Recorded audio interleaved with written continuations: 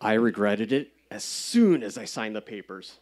Now I was trapped in a steel coffin oozing down the river Styx, magically disguised to look like the LA freeways. Hell was a hundred thousand other people and their damned cars. Dear God, I'm sorry I never believed in you, but I need you to put me out of my misery right now. My stupid self bought a house after five years living as an aimless divorced bachelor, eating frozen meals for dinner. It was time to grow up again. I worked in aerospace, and the beach city I lived in burned through, my, through, burned through each paycheck. So I went clear across LA and found something I could actually afford. It was a very practical house with, uh, with no personality. Hell and the neighbor, hell, the neighborhood was developed for literal soldiers. Character would have been designed out of it on purpose for military efficiency. But as a second gen Asian American, I learned from a very young age to suck up being boring and practical because that's all we could afford. After a few months, this hour long commute continued to suck my life away. One day, I went into my, cat- my usual catatonic state, you know, the one everyone had Thursday afternoon on the 5 South. But as my brain shut off, I had a vision into the future where I was an old man still crawling along in traffic, days from retirement, when suddenly I dropped dead at the wheel, causing even more traffic. I was so shaken I had to pull over. As I recovered, I saw the carpooling actually moving and dreamt that I too can enjoy a faster commute. I found my job's rideshare for him, but no one else was crazy enough to make that journey. I posted a friendly request, but knew I was doomed to suffer all alone for my hubris. After a few months, a guy named Benjamin Lee actually responded to my post. I Googled his address, and it was way up the hill from where I lived. If this were feudal Europe, his house would be the castle, where I would be the lord and lady's personal cowship farmer. now I had the opportunity to make my first friend not only A from work, but the other kind of Asian, the rich kind. A sleek, dark BMW pulled up next morning. I grinned like the awkward dork I was, looking at things that are way out of my league. grin is a grin I flashed at beautiful women. Yes, that one. Ben was so cool. He was his upscale Armani exchange outfit matched his car, all satin and dark. He was thin enough to wear fitted clothes and actually look good. I own no such shirts or pants because after six Oreos, ha, two suggested servings. I wanted nothing fitted. His cuffs were rolled up twice like GQ dictated to show he was still a professional, but a cool professional, with arm tattoos. His slacks ended short to show off polished loafers without socks. Who had the confidence to wear loafers, let alone without socks? Ben did, that's who. I looked down at my cheap khakis and my Target brand polo. I did not coordinate well with Ben's car or his vibe. And I thought I also caught disappointment on his face. I barely had enough time to click on my seatbelt when Ben loudly peeled off, leaving skid marks of high-end tires behind. The car kept accelerating until, boom, he stomped on the aftermarket brakes right on the line of a very visible stop sign. It's not like he jumped out at him. He drove like this through start and stop traffic the entire way. Every time a space formed in front of us, I felt my head jerk back and then a hard stop in the, the pit of my stomach. Maybe this is how cool people drove. People like Letty and Dom and Nina. Maybe nausea was the price for entrance into the cool club. Oh my god, I thought. I need to make conversation. Anything to distract me from this. We started chatting, and of course, Ben got cooler. He also just bought a house, but a cooler one with a view. He had an upbringing very close to mine, only with cooler and richer parents. He also had a girlfriend, probably a cool and pretty girlfriend. That man was smashing the American dream. Meanwhile, I was starting to level over down a life with no cool power-ups.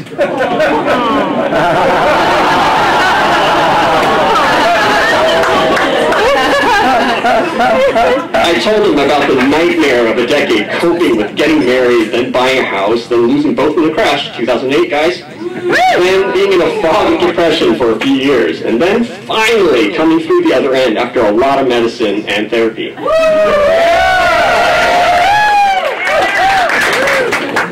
Wait, your wife was white? He asked. that was a weird detail to hang up on in the midst of everything else I said. Especially since white people were literally everywhere.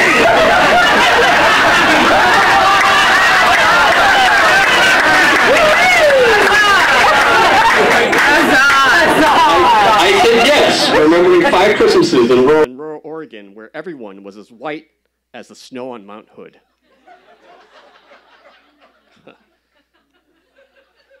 You got lucky, he replied. Thanks, I said. She was smart and cared a lot about her family. The end kind of sucked. Huh, no, brah, he insisted. I mean, aren't they racist? My mind slammed on the brakes like his precious vehicle. It may have been the car sickness, but I was not prepared for racism. After my brain rebooted, I realized he was talking about how Asian men have been culturally asexualized in the West. OkCupid had data showing how we were ranked the lowest in desirability among white women. I was angry when I read that article shortly after the divorce because it backed out it backed up how frustrating it was um, sending friendly messages out and getting nothing back. All I could picture were the mean girls in those teen movies who made that ugh sound at the Asian dorks. Asian dorks like me. but treating my depression helped me move past that anger and misogyny. I wanted to bond so bad, but not over xenophobia. I mean, you know, dating is tough for everyone, I replied. Yeah. yeah, but they don't like us. That's why I only date Asian girls. They're better, he said. He clocked that I wasn't one of the guys. It was painfully clear. You see, while some of us stay dorks, other Asian men fought against the prejudice by getting hypermasculine. Then they get a CrossFit membership, a supercar with aftermarket parts, a handgun, and the complete set of conservative talking points. Because why the hell would you, uh, why the hell, uh, uh, because who the hell ever went halvesies on right wing ideology?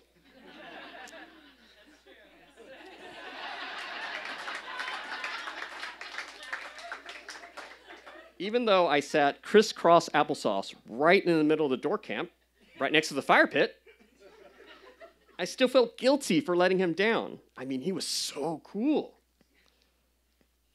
I know I had a lot of therapy, but it wasn't enough to get over my ingrained fear of bullies or the desire to please them. I could feel my cool points clatter to the ground, and, if I heard the subtext correctly, I may also be a race traitor. As if I couldn't disappoint him more, I got, uh, I got a quiet snicker when it was my turn to drive, and it, I showed up in my boring hatchback. I don't think he even tried to hide it. At least I drove smoothly. Dating seemed to be the only topic we were both interested in. It was the chance for Ben to pontificate about how women should treat their men. And really, relationships fascinated me, but I was very average at them. B plus tops.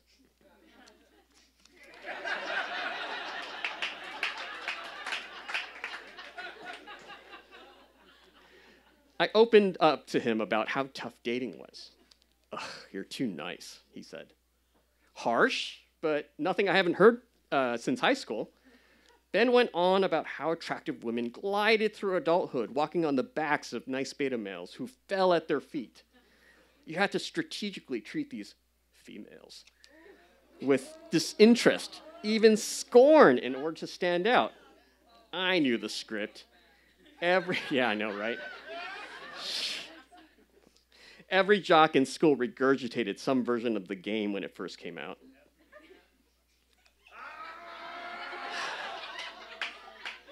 I nodded and threw out the words alpha male just to see if he approved. Now, now, I know that model has been discredited by wildlife experts. Wolf packs follow matriarchy, everyone. But let me have this. My cool points were looking like my shitty bowling average. And I need, I need, I needed all the bumpers I could get. I'm a Sigma, Ben replied. What the hell was that? Was that even a thing? I very coolly asked what Sigmas were, trying to draw all skepticism out of my voice because I didn't want to disappoint him. Again. Let me tell you, Sigmas are like Alpha, but introverted. Ben said. That still made no sense until he. still made no sense until he explained that alphas were the lone wolves, natural leaders who didn't need all those beta males to prop them up. Alphas were so five years ago, it was embarrassing. okay, so less Charles Manson and more Ted Bundy. Got it. Got it, got it, got it. Back home, I looked up sigmas to see if it was even a term scientists used. The word only popped up on sites for men's rights activists. They were all hot for traditional gender roles and conspiracy theories. This was a huge.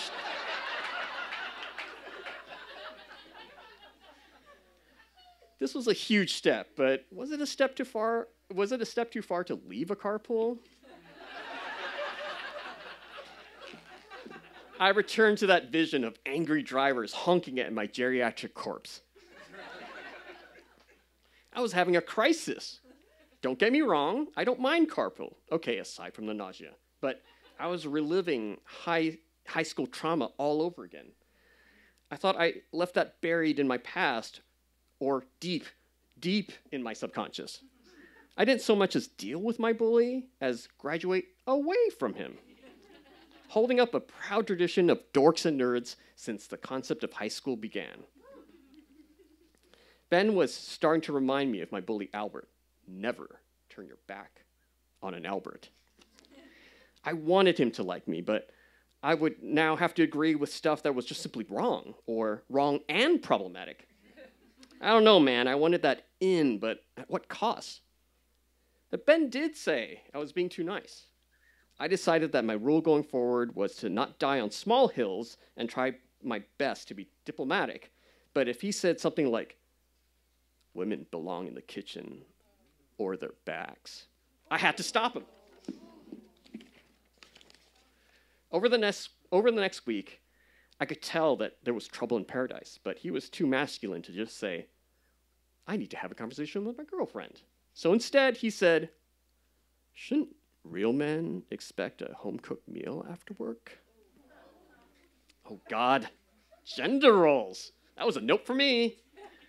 Home cooked meals are nice. No one could deny I was 100% right.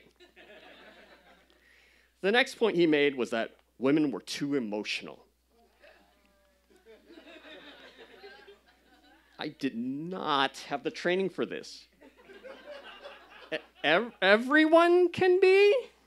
I replied. Again, non falsifiable. I'm not, he said. I'm 100% logical.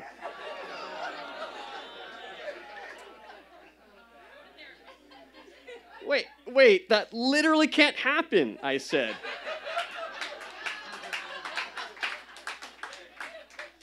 fear alone keeps you alive. I was gonna say that paladins who became immune to fear as they leveled up were not a good thing. But I was afraid he would excommunicate me out of the Cool Cub and his car right there in the middle of the freeway. See? Fear does keep you alive.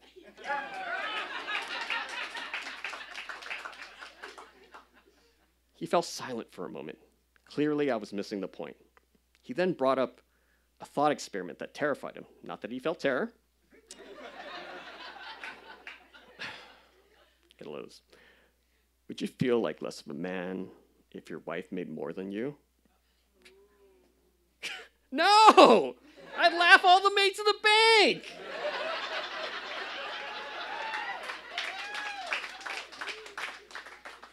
because that would be awesome!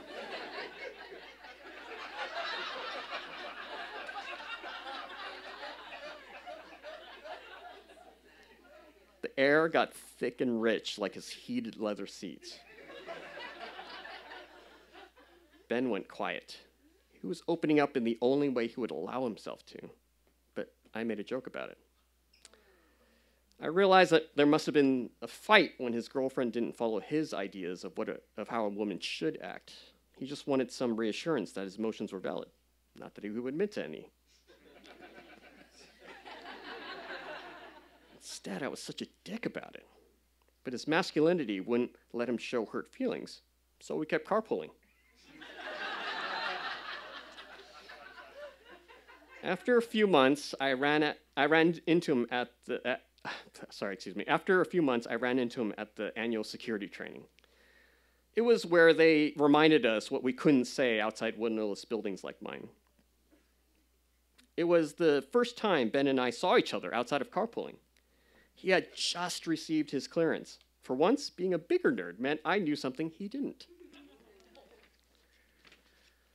The officers assured us that it was okay to just let them know if we slipped. It was a different story if we had brought boxes and boxes and boxes of secrets home, you know?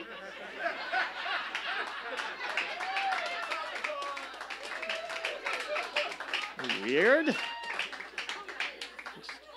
Never happened. To reward us for paying attention, security would show us how our products were being used in the field. So, so it was only natural for every single noob to feel like they found out Santa was real and the Americans were keeping him secret so that the Russians couldn't have him. they all get wide-eyed, they all get wide-eyed and sparkly. Ben, despite all of his coolness, was no different. It was really endearing to watch, but I wasn't going to tell him that. That night, Ben climbed into my car, buzzing with newfound secrets. As soon as the door closed, he asked, Hey, why can't we say outside.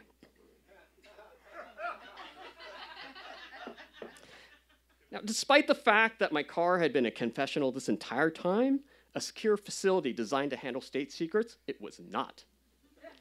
Hell, we were carrying hackable recording and tracking devices.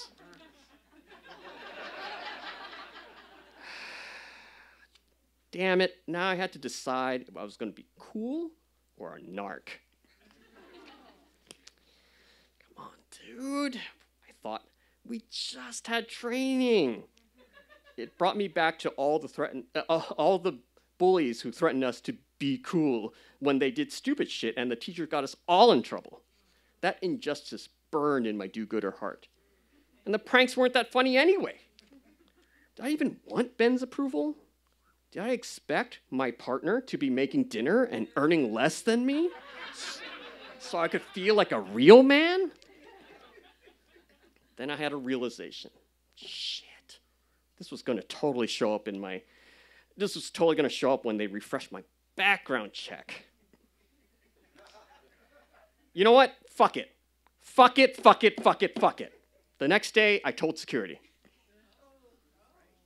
That was a step too far for Ben. I got a curt email from him that said, I don't think it would be a good idea to carpool anymore.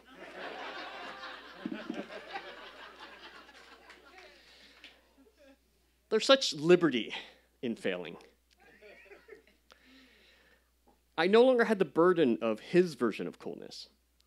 I had to choose who to betray. One side gave me work I believed in, the other just had a slick BMW, nice clothes, a cool house, and what seemed to be a resilient girlfriend who would be fine on her own.